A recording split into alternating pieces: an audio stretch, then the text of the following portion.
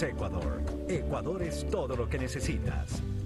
En cada amanecer o cuando la tarde está cayendo, en cada escenario y con cada sonido, me pregunto si estaré soñando. No importa hacia dónde mire, sea el susurro de un árbol o el trueno del mar, el amor está en el aire.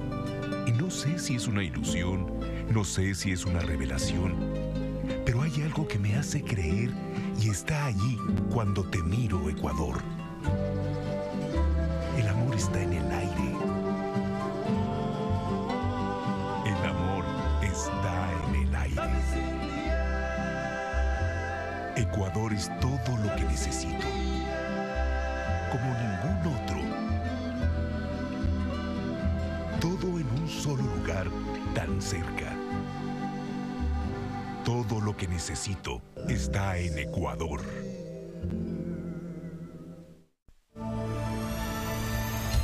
Fin de espacio promocional.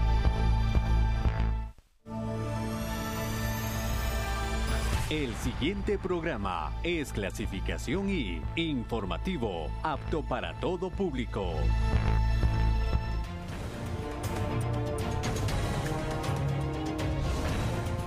Amigos, amigas televidentes, muy buenas tardes. Como siempre, gracias por mantenerse en nuestra sintonía y acompañarnos en la emisión central de su noticiero ciudadano. Queremos recordarles que nos puede seguir a través de www.elciudadano.gov.es y a través de la señal de Tele Ciudadana canales 48 y 49 a nivel nacional. Bienvenidos y bienvenidas. Iniciamos con la revisión de los principales titulares. Expertos destacan fortalecimiento del sector productivo y del empleo gracias al incremento de las recaudaciones tributarias. El Servicio de Rentas Internas refuerza sus controles para detener la corrupción en el país. Pedernales cuenta con un nuevo centro de salud tipo A. Y en lo internacional, personas con discapacidad protestan en Argentina por la suspensión de sus pensiones.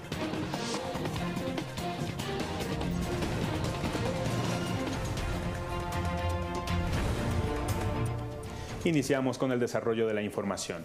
La economía ecuatoriana está cambiando de ciclo. Este es el análisis del analista económico Hugo Villacrés, quien destaca que el incremento de las recaudaciones tributarias son un indicador del fortalecimiento del sector productivo y del empleo dinamizadores del consumo interno.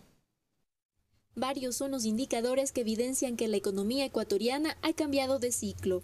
Uno de ellos el incremento de la recaudación tributaria que llega a los 5.859 millones de dólares en los primeros cinco meses del año. Para el analista económico Hugo Villacrés, el país se encuentra en la parte positiva del ciclo económico, pues a mayor recaudación, mayor transaccionalidad, es decir, que existe más consumo por parte de la ciudadanía. Si uno revisa las cifras del Servicio de Rentas Internas del mes de mayo del 2017 que acabamos de cerrar, encontramos cifras alentadoras. Primero que es eh, la mayor recaudación de los últimos cinco años y eso eh, da clara evidencia primero de que estamos en la parte positiva del ciclo. A mayor transaccionalidad, mayor consumo. Y ese consumo pues dinamiza también la producción y aumenta las fuentes de empleo. Entonces se convierte en un círculo virtuoso. La recuperación económica ha sido constante e inició desde el segundo semestre del año pasado, reflejándose en el PIB del último trimestre de 2016, con una variación positiva de 1,5% respecto al mismo periodo en 2015. Sin embargo, lo importante de este incremento en la recaudación tributaria radica en la dinamización que existe en el sector productivo, lo que permite un importante aumento en las plazas de empleo. Usted consume si tiene ingreso disponible y el ingreso disponible se va a generar a través de fuentes de trabajo, a través de emprendimientos, a través de fortalecimiento del sector empresarial. Entonces usted tiene algunos indicadores que le invitan a pensar que la economía ha cambiado de ciclo y sobre todo que se está fortaleciendo el sector productivo, el sector del empleo. La confianza generada por el cambio de gobierno, la apertura al sector empresarial y la estabilidad económica del país incidieron para que rentas internas registren una mejora de la recaudación de impuestos en los primeros cinco meses del año. De acuerdo a cifras oficiales, se espera que para este año el SRI recaude más de 13.700 millones de dólares en tributo. Sin embargo, el panorama económico actual proyecta que la entidad sobrepasará dicha proyección. Caterina Morejón, Noticiero Ciudadano. El Servicio de Rentas Internas asumió un rol fundamental en la lucha contra la corrupción, ya que gracias a sus controles se pudo detectar casos como el de Petroecuador o el de la constructora Odebrecht. El trabajo investigativo del Servicio de Rentas Internas, SRI, ha sido uno de los aportes más importantes en la lucha contra la corrupción en el Ecuador. Fruto de la labor de esta institución fue la detención de las redes de corrupción en los casos Petroecuador y Odebrecht. Así lo aseguró Leonardo Orlando, director de la entidad encargada del control tributario en el país. Bueno, nosotros en el ámbito tributario hemos venido controlando a la empresa Odebrecht por años en este proceso de la revolución ciudadana. Hemos hecho, ejecutado en los dos gobiernos, en lo que va del 2017 ya llevamos eh, eh, computados 25 controles versus apenas 6 controles que se habían hecho en la década anterior, en los gobiernos anteriores. Y eh, una vez que se conoció estas revelaciones de esta empresa corrupta y corruptora, como Odebrecht, de que se habían eh, entregado sobornos a personas ecuatorianas, comenzamos a investigar eh, cualquier pago que tenga una sospecha, sobre todo pagos al exterior, y también obviamente hemos seguido muy de cerca toda la información que ha podido ser pública a nivel internacional o a nivel nacional de los expedientes que ya se han ido eh, revelando. Esta semana Odebrecht envió un comunicado pidiendo disculpas por el accionar que mantuvo en Ecuador. Para Leonardo Orlando se estima que la constructora brasileña debería entregar al país unos 200 millones de dólares como compensación por la manera irregular en que manejó sus negocios en el Ecuador. La información recogida por el SRI estará a disposición de las investigaciones. Servirán para la Fiscalía, para el Frente, para la Asamblea, para todos los organismos que tengan algo que ver y para la sociedad en su conjunto. Hoy estamos más preparados y tienen que saber que aquellos que incumplen la ley, que traicionan eh, a su país, generando este tipo eh, de actos de inconductas al margen de la ley, al margen de la ética, de la moral, van a ser descubiertos eh, tarde o temprano.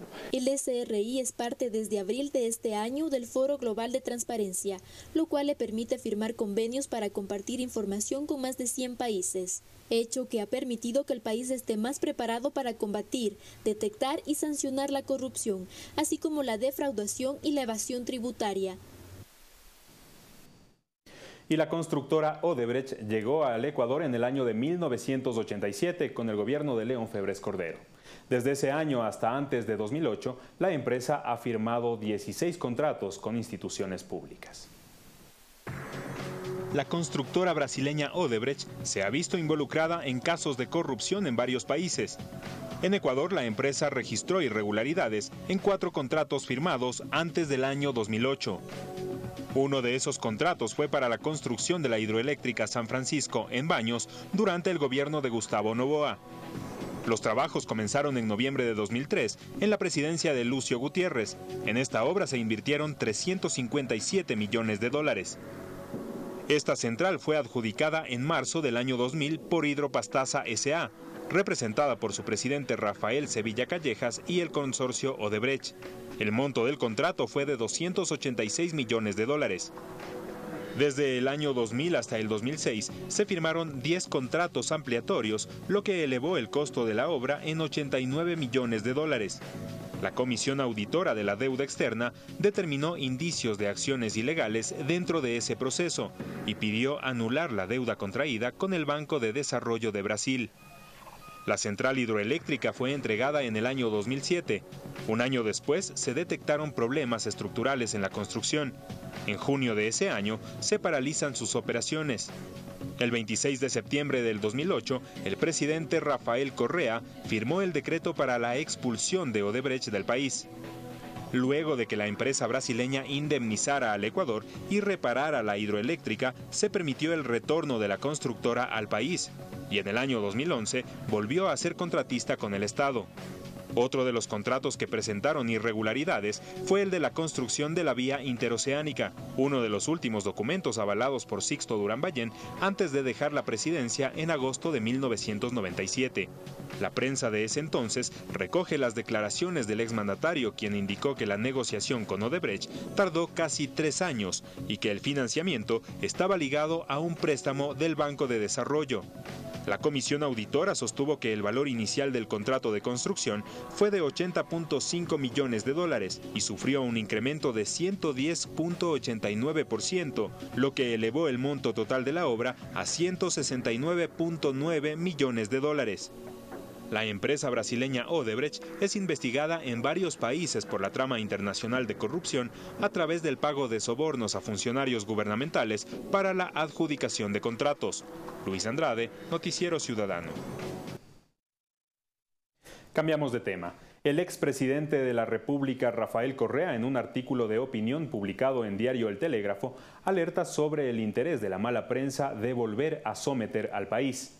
Correa indicó que uno de los principales problemas del mundo es la mala prensa y, aunque es una cuestión planetaria, en Latinoamérica es mucho más grave por la mediocridad, mala fe, deshonestidad e impunidad de la que están prevalidos muchos periodistas y sus respectivos medios. El exmandatario enfatizó que la comunicación es un derecho y que la única forma de garantizarlo es que esa información sea absolutamente objetiva, oportuna y veraz, no susceptible de retoques, transformaciones u omisiones. Y en ese contexto alertó el interés de la prensa que en nombre de la unidad pretendería volver a someter al país a los agonizantes poderes fácticos, indicó el exmandatario. Amigos, amigas, es momento de hacer una pausa, pero quédese con nosotros. Al regresar les tendremos más noticias nacionales.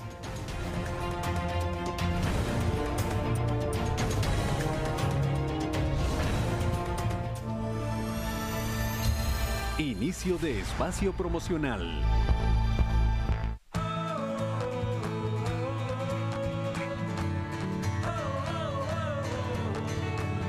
Tu plan siempre es crecer soy piloto de lancha desde los 15 años. Navego desde Puerto Bolívar a todas las islas y archipiélagos del sector. Todas las artes son herramientas de transformación social. Había como una carencia del circuito de arte en la ciudad de Machala. Soy periodista de la vieja escuela, periodista de la calle. Bueno, salimos en la mañana, recorremos diferentes puntos de la ciudad, entrevistamos a la gente, tomamos fotos. Lo que más me gusta es el contacto con la naturaleza, conocer gente nueva y que ellos conozcan mi provincia. Yo monté hace tres años atrás un festival de pintura, de graffiti, es de arte urbano. Nosotros hemos promocionado los artistas locales. Se ha hecho más rápida la recopilación de la información gracias al uso del Internet. En esto, enviar y recibir información de manera inmediata es la clave.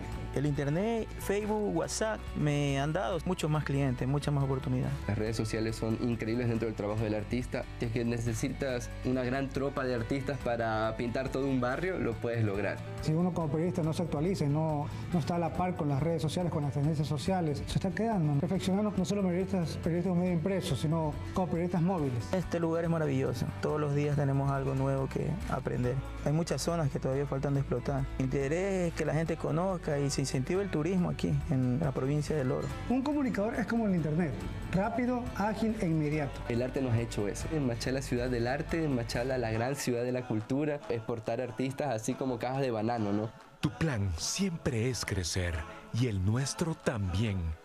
¿Y tú? ¿Qué planes tienes con CNT? Fin de espacio promocional.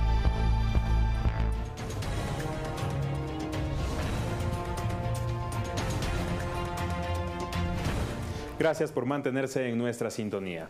Ahora les contamos que el vicepresidente de la República, Jorge Glass, mantuvo una entrevista en Capital TV en la provincia de Manabí, en la cual abordó importantes temas que se los mostramos a continuación.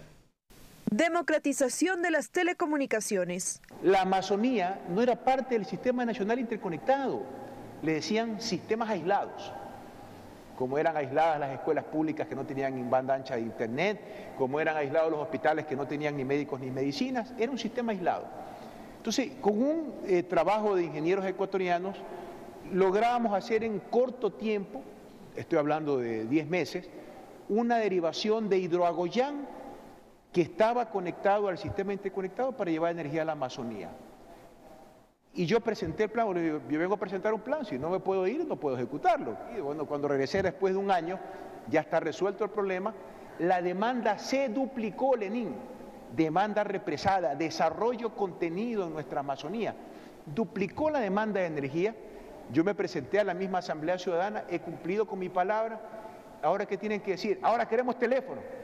Está bien, me voy a traer fibra óptica a la Amazonía. Me volví a ir con la tarea de interconectar un anillo de fibra óptica para la Amazonía y hoy las 23 provincias continentales tienen fibra óptica y banda ancha para todos los ecuatorianos. Lucha contra la corrupción. Dos formas de corrupción. La directa, Pacifictel, el desguace de las empresas públicas, el desguace de las empresas eléctricas. No había, no había telefonía, no había electricidad. Y el no hacer, el no tener electricidad generaba un negocio. Como dice en Guayaquil, un business. ¿Para quién? Para la gallada, ¿Para qué gallada? Pues la de Capaco, pues. Esa gallada que generaba electricidad con sus barcazas. Las famosas Las famosas barcazas. No tener telecomunicaciones era un negocio para otra parte de la gallada. ¿Recuerda usted los famosos bypass? ¿Hace cuánto que los ecuatorianos no escuchamos hablar de un bypass? Porque se luchó tajantemente en contra de la corrupción. Desde el primer día, Lenín, desde el año 2007, con el liderazgo de Rafael Correa Delgado, todo su equipo de trabajo si alguien ha cometido alguna pillería, que caiga. Si alguien cogió un dólar partida por la mitad, que caiga. Pero nosotros hemos luchado contra la corrupción de manera vehemente por 10 años. Hay cosas que no me perdonan o que no nos perdonan como Revolución Ciudadana. Porque yo tengo aquí que defender los 10 años de Revolución Ciudadana y los 4 años que están por venir junto a Lenín Moreno Garcés. Hay que ser consecuentes con el proyecto político. Reconstrucción post-terremoto. Recuerde usted el desafío que yo le planteé a Manavilla al Ecuador entero. Vamos a trabajar para que no se hable del terremoto de Ecuador en el mundo, sino que el mundo hable de Ecuador después del terremoto. Se acaba de presentar en Bruselas la experiencia de reconstrucción con reconocimientos y aplausos internacionales. A mucha honra de un equipo de trabajo maravilloso, de todo el equipo de gobierno de Rafael Correa, que continúa con Lenín Moreno y que ha tenido un comité de reconstrucción del que gentilmente el presidente Lenín Moreno me ha, pedido que continúe al frente, con Carlos Bernal como secretario técnico de la reconstrucción. Un equipo, un esfuerzo de siete días a la semana, 24 horas al día. Llegamos al 24 de mayo con cero familias en albergues oficiales. Eso es un esfuerzo de todos, lo hicimos juntos, 16 millones de ecuatorianos. Todavía falta mucho por hacer, Lenín, pero hay una clara recuperación y reactivación. Y la parroquia Cheve Arriba en el cantón Pedernales de la provincia de Manabí cuenta con un nuevo centro y moderno centro de salud tipo A que beneficiará a 24 comunidades de la zona, es decir, más de 5 mil personas. El nuevo centro de salud tipo A de Cheve Arriba tuvo una inversión de 1.256.000 dólares en infraestructura y equipamiento, de los cuales cerca de 900.000 dólares corresponden a los fondos obtenidos por la Ley de Solidaridad seguimos construyendo equidad, seguimos construyendo justicia. Y que nadie se equivoque, que nadie se equivoque. Proceso revolucionario es el mismo. Seguiremos construyendo centros de salud. La infraestructura que cuenta con consultorios polivalentes, odontológicos, farmacia, área de emergencias, laboratorios y servicios de medicina en general beneficiará a más de 5 mil personas de 24 comunidades de la zona. Aquí ahora tenemos el presente y el futuro cambiado con el gobierno de la Revolución Ciudadana. Se han valido esa década de la revolución. El cambio está aquí. Este es un espacio y un eje del desarrollo comunitario, porque así aquí se construye la verdadera salud de la población.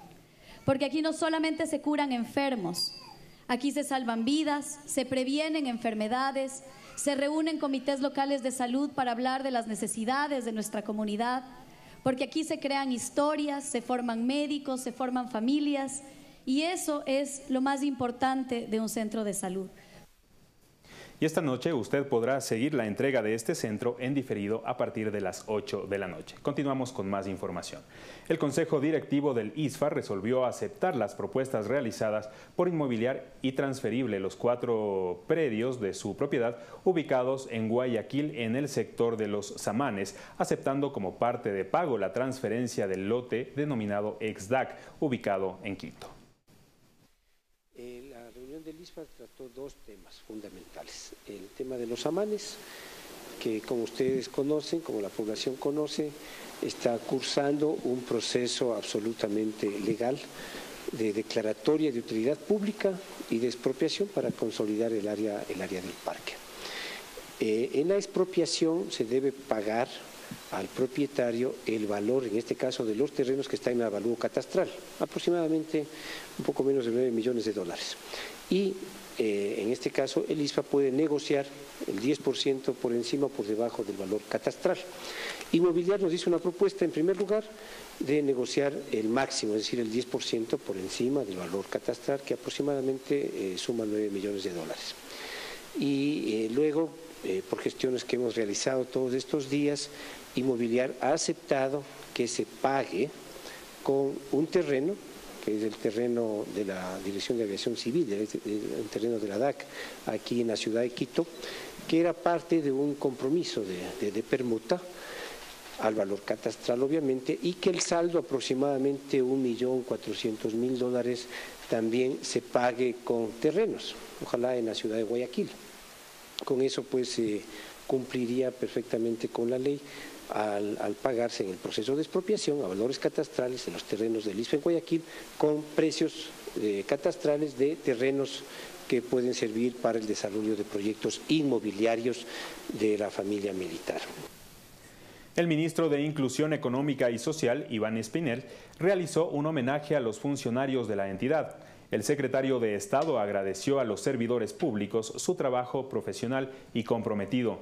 Reconoció especialmente a aquellos servidores públicos que, por la urgencia que demanda los cambios del país, dedican largas jornadas de labores más allá de los horarios regulares. El ministro ratificó que el gobierno mantendrá su compromiso de respetar los derechos adquiridos por los trabajadores y aseveró que su gestión se caracterizará por la cercanía con el funcionario. Yo me congratulo de tener gente siempre cordial, predispuesta a trabajar Así que esto es una muestra mínima de la relación que queremos tener como amigos, como colegas de una institución. Espero que se repita muchas veces más, que nosotros podamos compartir muchísimos momentos más. Hay que respetar el trabajo y la dignidad de las personas. Así que cuenten conmigo 100%. Que Dios los bendiga a todos y feliz Día del Padre. Una de la tarde con 24 minutos, una hora menos en Galápagos. Amigos, hacemos una pausa, pero quédese con nosotros al regresar las noticias internacionales.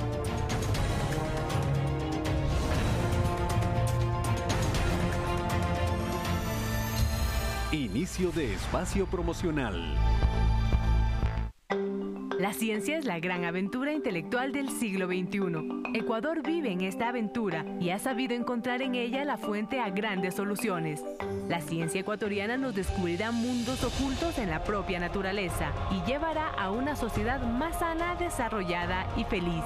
Abramos nuestra mente y escuchemos a los grandes sabios e innovadores del presente y del futuro de Ecuador. Bienvenidos a El Ladrón de Cerebros. Fin de espacio promocional.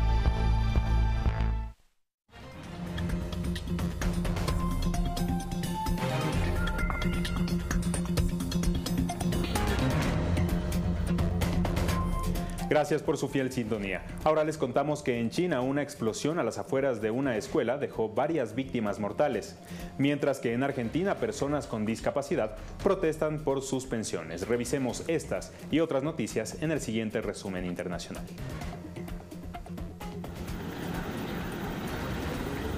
Las autoridades chinas informaron el viernes que la explosión que dejó ocho muertos en una escuela fue provocada por una bomba artesanal. El fabricante era un joven con problemas de salud, que también murió. Las fuerzas de seguridad encontraron material explosivo en su apartamento y palabras como muere y destruye en una de sus paredes. La explosión dejó 65 heridos. Los alumnos estaban en clase en el momento de la tragedia y ninguno se vio afectado. El ministro de Seguridad Pública ordenó una investigación rápida y exigió controles reforzados ante riesgos potenciales en lugares densamente poblados.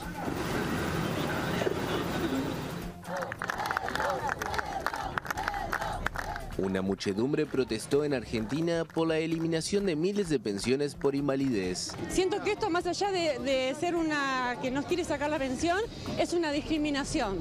Porque no solo nos saca el suelo, sino nos, quedamos sin colegio, nos quedamos sin remedio, nos quedamos sin, sin, sin traslado, nos quedamos sin nada. Esto es el límite. De este límite no se vuelve. Esto no es grieta, no es nada, es un límite. De esto si se quitan pensiones a personas que el Estado tiene la obligación de proteger su derecho, no tenemos retorno como sociedad. Ante una ola nacional de reclamos, la ministra de Desarrollo Social anunció el restablecimiento de pensiones que, según dijo, pueden haberse quedado sin cobrar por error de aplicación de criterio. El gobierno había dicho que detectó irregularidades y que dio de baja a pensiones para personas que no fueran inválidos totales y permanentes. Entre ellas, la primera atleta paralímpica argentina en ganar una medalla de oro, a quien le devolvieron la pensión en 24 horas. La canasta familiar está arriba de, las de los 10 mil pesos y nosotros recibimos 4 mil y tenemos que juntarnos acá 2 mil, 3 mil personas para luchar por algo que nunca tendría que haberse sacado en realidad. Hay 5 millones de personas con discapacidad en Argentina, pero un 60% trabaja, según cifras oficiales. Casi 2 millones cobran pensiones. Asciende a 30 el número de víctimas mortales del incendio en la Torre Grenfell. Esto es lo que ha confirmado este viernes el comandante Stuart Candy de la Policía Metropolitana de Londres. El responsable policial también ha explicado que el balance de muertos en el siniestro podría aumentar en las próximas horas. Mientras, 24 personas siguen hospitalizadas. La mitad de ellas se encuentran en estado grave. Respecto a la investigación, Candy aseguró que en estos momentos no hay nada que sugiera que el fuego fue provocado deliberadamente.